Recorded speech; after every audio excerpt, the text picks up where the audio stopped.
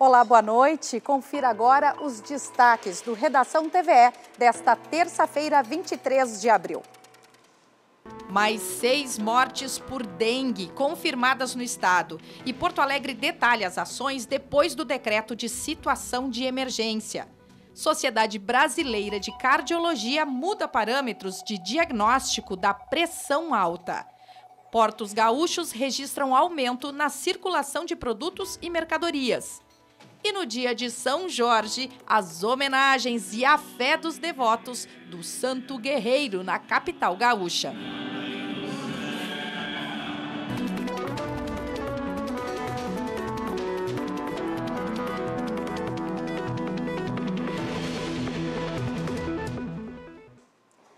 Pressão alta, ou seja, aquela acima de 14 por 9, afeta cerca de 45% da população adulta do país. Mas você sabia que o local onde o paciente está para fazer essa medição pode alterar o resultado?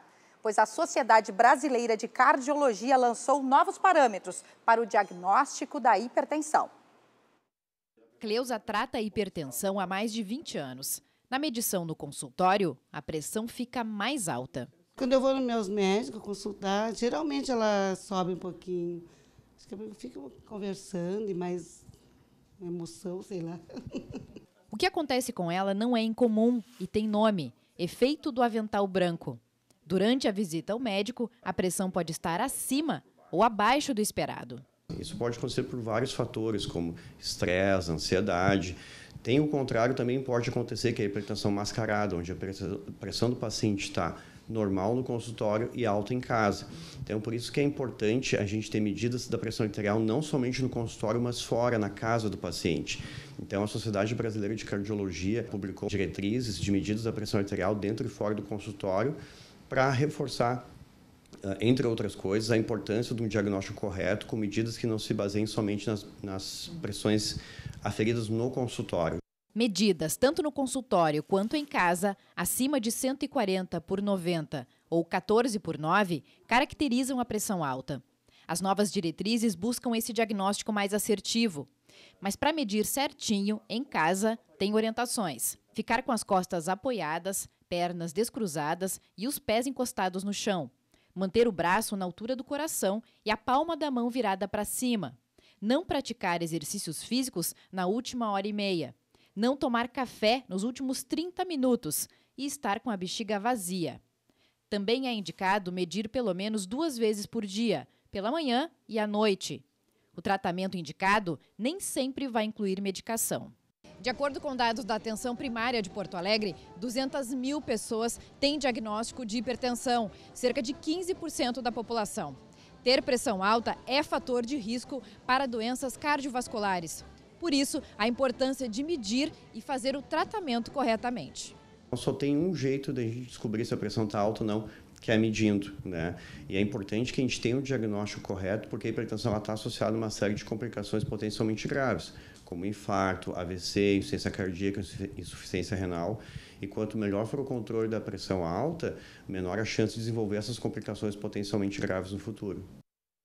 Pois grave, séria mesmo, é a questão da dengue. Foram confirmadas agora à tarde pela Vigilância em Saúde do Estado mais seis mortes, totalizando 97 vítimas da doença no Rio Grande do Sul neste ano.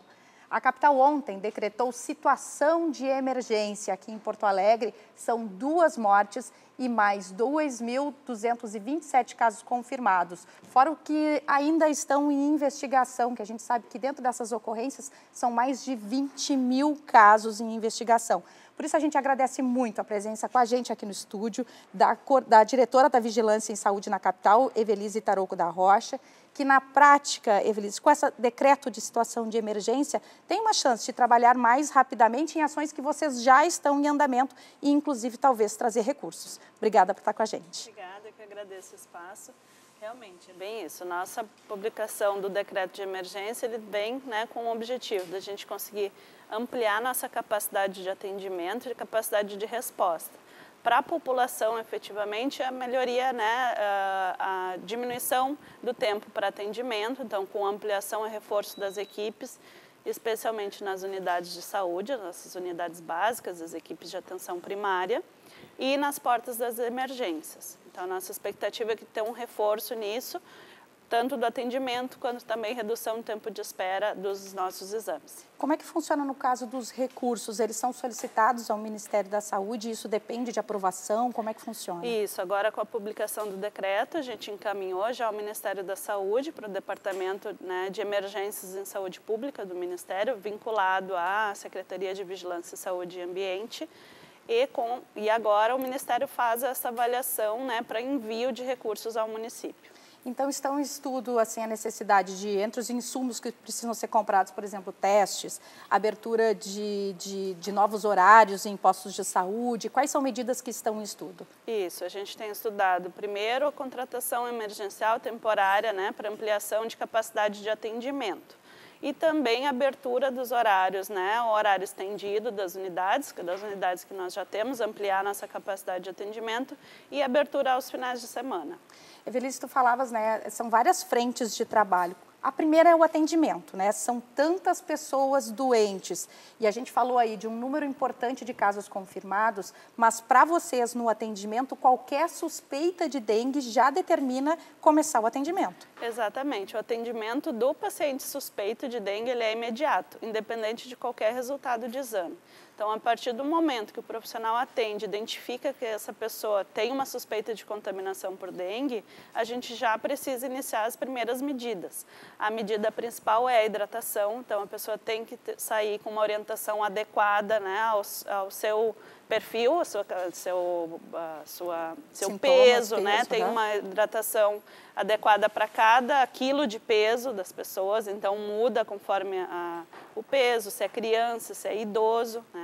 E se essa hidratação vai ser oral ou se precisa também de soro, né? Que pode ser feito, deve ser feito no serviço de saúde. E num estado onde a gente está tão acostumado a ter gripes, digamos assim, qual é o risco da automedicação nesse caso? A gente sabe que as, as emergências, que os postos estão muito cheios, mas qual é a indicação sobre tem algum sintoma, precisa buscar o atendimento especializado? Isso. A dengue é uma doença que a gente tem que orientar sempre. A partir dos primeiros sintomas, busca atendimento. O paciente precisa ser reavaliado, em geral, a cada 48 horas, vai depender da condição física do paciente, né? para a gente conseguir avaliar a evolução desse quadro clínico. É uma doença de curta duração, ela dura sete dias, mas ela agrava com muita rapidez. A partir do terceiro, quarto dia é quando começa o que a gente chama do período crítico da dengue, que é onde as pessoas começam de fato a manifestar sinais de agravamento. Então esse atendimento ele tem que ser feito, a pessoa tem que ser reavaliada e ela é uma doença que ela pode trazer risco sim de hemorragia. Então quando a gente fala em não se automedicar, a gente está falando especialmente de anti-inflamatórios. Esses anti-inflamatórios de uso comum, que todo mundo toma por, por qualquer sintoma, né? qualquer né? Dor, no corpo, cabeça, né? né? Dor de cabeça, síndrome, alguma gripe, síndrome gripal. Então esses medicamentos eles agravam, pioram o quadro da, da dengue. Por isso, a indicação é vá ao posto de saúde, mesmo que precise esperar, né? Porque daqui a pouco uma febre mais alta, isso pode também ir evoluindo para uma situação mais complicada. Exatamente, a gente tem comunicado. Se não aguarde para buscar o atendimento, se chegar no atendimento, aguarde por esse atendimento quando chega no serviço e principalmente, se houver a recomendação do profissional de saúde que aquela pessoa precisa ficar em observação, que fique, né?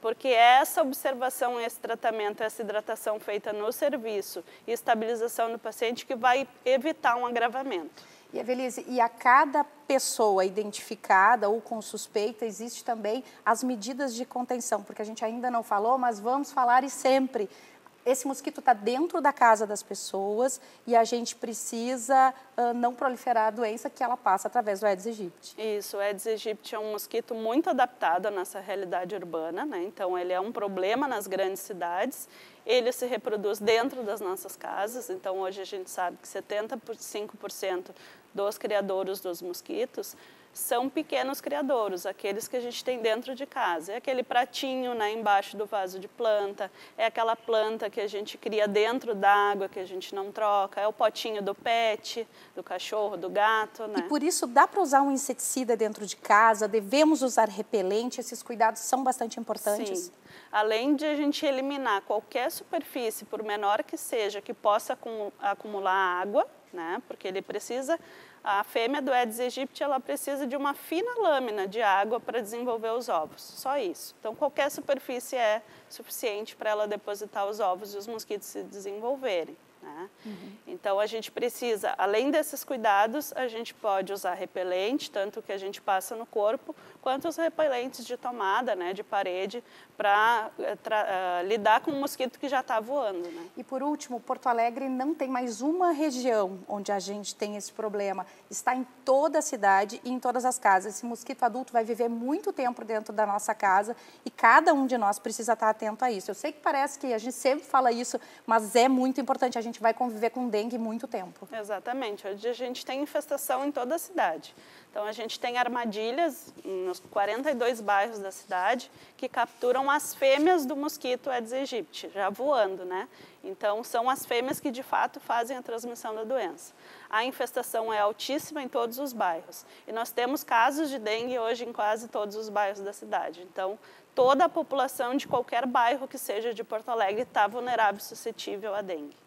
Feliz, te agradeço muito por estar aqui com a gente nesse momento que a gente sabe que vocês estão com bastante trabalho. Então, todo mundo em casa aí, ó, atenção com os mais velhos, atenção com as crianças, né? E agora nós vamos falar de energias renováveis. Depois de testes no início do ano, o projeto piloto de linhas com ônibus totalmente elétricos na capital recebeu um novo aporte hoje. A entrega de quatro novos veículos elétricos para o transporte coletivo público foi nesta tarde no Parque da Harmonia. Os ônibus de 12 metros de comprimento têm acessibilidade, ar-condicionado, Wi-Fi e capacidade para 36 passageiros sentados e 34 de pé. A autonomia da bateria dos veículos, que serão operados em duas linhas da empresa Sudeste, é de até 250 quilômetros. A estimativa é que somente esses quatro coletivos reduzam a emissão de 426 toneladas de carbono em um ano na cidade. E o investimento pode ser revertido na economia em relação ao diesel e na manutenção. Viajamos bastante, estudamos no Brasil e fora do Brasil as operações já existentes e nós temos verificado uma redução no número de manutenções e de problemas com o elétrico. Ou seja, até o momento, a nossa expectativa é que, além da economia de combustível, que ela é menor, é um, um sexto mais ou menos do elétrico, do a diesel, nós temos ainda uh, a questão do, da manutenção, que nós a, a entendemos que vai ser uns 50% menor. Então, acreditamos que em sete anos devemos ter aí um payback já de de, entre investimento, né, se fosse comprado os 12 diesel, dos 12 elétricos. É que o projeto piloto de eletromobilidade tem a previsão de receber de outra empresa mais oito ônibus em maio. Os 12 totais devem estar em operação até junho. E o governador Eduardo Leite retornou hoje ao Estado depois da missão na Europa para estreitar relações com a Itália e a Alemanha. Na última agenda oficial, ele visitou a tradicional Feira de Hanover, o mais importante evento de tecnologia industrial do mundo, onde a transição energética foi o grande destaque. Com a participação de empresários gaúchos, a comitiva liderada pelo governador Eduardo Leite circulou pela feira, conhecendo as tendências mundiais em soluções energéticas para a indústria sustentável, incluindo um pavilhão dedicado ao hidrogênio, com foco na captura e armazenamento de carbono. Segundo Leite, um dos objetivos do governo é habilitar o Rio Grande do Sul a receber investimentos nessa área, em especial em relação ao hidrogênio verde. Nós estamos do nosso lado buscando reforçar nossa, nosso potencial, a nossa vocação para a produção de hidrogênio verde. É um dos motivos da nossa vinda aqui. poder entender como é que eles estão tratando o assunto, mas também falar a respeito do que o Rio Grande do Sul está fazendo. Somos o único estado brasileiro que tem um, a partir de uma contratação, de um estudo técnico promovido por uma das grandes consultorias mundiais, que é a McKinsey, a, atestada a capacidade de produzir no Estado e a capacidade de competir com o preço que observamos é possível de alcançar na produção de hidrogênio verde no Rio Grande do Sul. Então é, é uma oportunidade seguramente para o Estado e a gente tem que estar ainda mais próximo desses uh, locais, desses centros, dessas oportunidades de feiras como essa, falando do Rio Grande do Sul e posicionando o nosso Estado de forma estratégica para, quem sabe, sediar investimentos relevantes nessa área. O aumento na intenção de consumo das famílias e a maior confiança dos empresários da indústria são indicadores de um bom desempenho da economia gaúcha em 2024. A avaliação foi divulgada hoje pelo Departamento de Economia e Estatística da Secretaria do Planejamento, que revela números positivos já no começo do ano. Destaque para o crescimento de 6,2% da indústria de transformação, que teve impacto expressivo da alta de mais de 300% na fabricação de derivados de petróleo e biocombustíveis, após a retomada das operações na refinaria Alberto Pasqualini. O comércio varejista também cresceu 6,1%, puxado pelo aumento de 12,2% nas vendas de hipermercados e supermercados. Já o setor de serviços, considerado o mais relevante na formação do produto interno bruto do estado, teve incremento de 3,4%, com alta superior a 28% nas atividades de serviços profissionais, administrativos e complementares. E investimentos no setor portuário também prometem aquecer a economia do estado. Os portos gaúchos vêm registrando aumento na circulação de produtos desde o ano passado. Só em Porto Alegre, o crescimento na movimentação de mercadorias foi de 33% no primeiro trimestre de 2024. No primeiro trimestre de 2024, a movimentação de carga pelo modal aquaviário no Rio Grande do Sul chegou a 9 milhões de toneladas. O sistema hidroportuário gaúcho, administrado pela empresa pública Portos RS, inclui os de Porto Alegre, Rio Grande, Pelotas, além de 31 terminais. A movimentação deste modal está atrelada ao desenvolvimento econômico do estado. Toda essa movimentação, toda essa produção está trazendo né, eh, uma movimentação, consequentemente, nos nossos portos, eh, e aí trazendo uma, uma grande uma cadeia muito grande né, de pessoas que trabalham, de empresas envolvidas e, consequentemente, gerando né, eh, mais impostos a partir de todo esse trabalho, de toda essa movimentação, tanto para os municípios quanto para o Estado, né, eh, como esse diferencial. Em 2024, o porto da capital teve um incremento de 33% na sua movimentação, em comparação a igual período do ano passado, resultando em uma arrecadação recorde em torno de 70 milhões de ICMS ao ano. Nos mostra competitivo perante a, a, a economia uh, e traz para o Estado uma série de arrecadações e benefícios que a gente tem e uma integralização dos modais que nós temos aqui também. Esta embarcação vinda da Rússia está descarregando 11 mil toneladas de insumos para fertilizantes que serão enviados às fábricas localizadas na região metropolitana de Porto Alegre. Outros itens são recebidos e enviados diariamente para outros estados e países. Devido a, a uma, uma, grande movimentação do, de trigo, pela nossa safra gaúcha, uh, de soja também, e os principais uh, produtos que nós já movimentávamos aqui no porto, tá? que seriam os insumos para produção de fertilizantes, cevada cervejeira, sebo bovino e transformadores elétricos. Para atender a tanta demanda e continuar beneficiando a economia gaúcha, investimento em tecnologia e parcerias estratégicas estão previstas para o porto da capital. Ano passado a gente fez o levantamento de 18 canais, 18 canais da nossa hidrovia para que a gente pudesse ter material de embasa, com embasamento para realizar uma dragagem ainda esse ano de alguns desses canais. Nós também temos projetos de asfaltamento de 18 mil metros quadrados da área operacional do Porto de Porto Alegre, um investimento na casa de 4 milhões e meio. Uh, nós estamos desenvolvendo também estudos para um proje projeto de modernização para o Porto uh, durante ao longo de cinco anos. E agora nós vamos a um breve intervalo. Fica com a gente que na volta tem a previsão do tempo. E ainda, fé e devoção marcam as homenagens na capital gaúcha a São Jorge, o santo guerreiro. Em Porto Alegre, depois de uma tarde ensolarada, o céu começa a fechar nesse início de noite e a possibilidade de chuva. Nesse momento, no alto no Morro Santa Teresa, temperatura na casa dos 24 graus.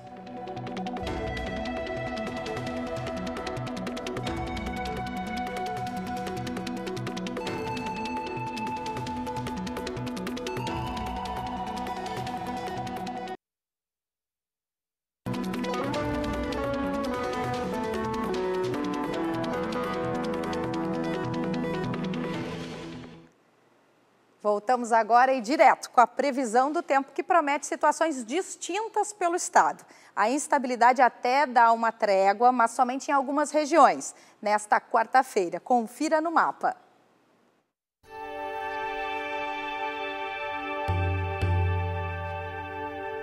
A frente fria perde força, porém a umidade vinda do norte do país ainda se faz presente em várias áreas. A combinação delas provoca chuva alternada com períodos de sol. Já no sul e nas fronteiras com Uruguai e Argentina não devem ocorrer precipitações. Será um dia com poucas nuvens. As temperaturas se mantêm amenas. Variação entre 17 e 22 em Porto Alegre, mínima de 11 máxima de 20 em Bagé. Em Santa Rosa, os termômetros vão dos 20 aos 27 graus.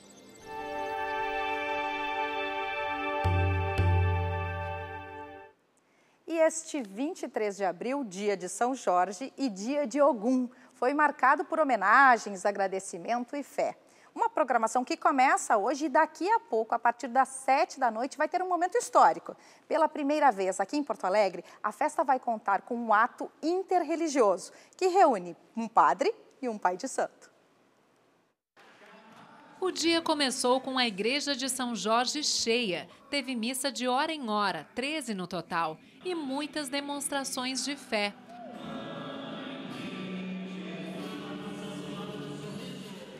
Enquanto alguns devotos agradecem as graças alcançadas, outros fazem novos pedidos. O que, que te trouxe hoje até a igreja? Para uma graça para minha irmã, que ela atinja uma melhora bem boa. Veio fazer algum pedido, agradecer? Saúde, muita saúde e fé e deu. Ele sempre nos, nos ampara nos momentos difíceis e nos momentos bons também, de alegria. A Elisiane veio com a filha Ana Clara, que carregava nas mãos alguns símbolos em homenagem ao santo guerreiro. Padre São Jorge, uma velha! Na verdade, eu sou devota e hoje é meu aniversário também. Então eu vim só para agradecer, muita gratidão por todas as bênçãos que ele me dá sempre. São Jorge, ele era um soldado do, do Império Romano, mas cristão. E ele, eh, uma vez que foi pedido que renunciasse à fé cristã, ele não, não aceitou. As pessoas, sabendo que ele era um soldado, o nomearam o guerreiro da fé. Já no mercado público da capital, teve banho de cheiro com ervas para celebrar o santo que nas religiões afro representa Pai Ogum. Dentro da religião de matriz africana, uh, devido aos nossos antepassados negros que foram escravizados, uh, eles não tinham como professar sua fé. E através das imagens das, das igrejas, da, da igreja católica, eles rezavam, mas na verdade eles estavam rezando para os seus orixás. Então, São Jorge é representado por Ogum, Iemanjá representado por navegantes e assim sucessivamente todos os orixás. O banho de cheiro representa a purificação, tirando as cargas negativas, trazendo a prosperidade, purificação de espírito. Eu acredito nessas coisas, né? Esse da sorte, saúde, essas coisas assim. Uma proteção, né? E hoje, pela primeira vez em Porto Alegre, a festa de São Jorge vai unir a fé católica com as religiões de matriz africana numa celebração ecumênica que deve começar por volta das 7 horas da noite, lá na igreja que leva o nome do santo no bairro Partenon. O recado é simples: apesar das crenças diferentes, o que deve prevalecer é o respeito mútuo. Uma religião não quer conquistar a outra, convencer a outra, converter a outra, mas quer dialogar com a outra, quer fazer o bem com a outra. Esse ato hoje ele é histórico no Rio Grande do Sul para mostrar que as religiões podem trabalhar unidas, que, que tudo é em prol de uma fé só, que tudo é em prol de Deus. A religião de matriz africana faz o bem, como o catolicismo faz o bem, então não tem por que essas religiões, como todas as outras, não estar tá unidas. Na cerimônia interreligiosa, vai ser feita a lavagem da escadaria da igreja, a exemplo do que acontece nas festas de Nosso Senhor do Bonfim, em Salvador. Em seguida, os participantes vão percorrer as vias do bairro numa procissão iluminada. E domingo tem mais programação: missa campal e procissão oficial de São Jorge, caminhada que deve reunir pelo menos 70 mil pessoas. A festa termina com comes, bebes e música no estacionamento da igreja. Este ano, uma coisa muito linda. A Escola Estado Maior da Restinga, que vai ter como tema São Jorge no próximo carnaval, vem aqui no domingo às 16 horas, fazer uma manifestação, uma apresentação deles em louvor a São Jorge. São Jorge abençoe a todos nós, abençoe os nossos lares, nos dando vida, saúde e prosperidade e muita oportunidade nesse mundo que a gente vive. Viva nosso padroeiro! Vamos dar uma forte salva de palmas São Jorge! Viva mesmo, né? Porque respeito mútuo é só o que a gente precisa sempre pois hoje também é o Dia Nacional do Choro e nós encerramos com o projeto Sem Choro Nem Vela, que se apresenta no Fonfon em Porto Alegre daqui a pouco às 9 horas.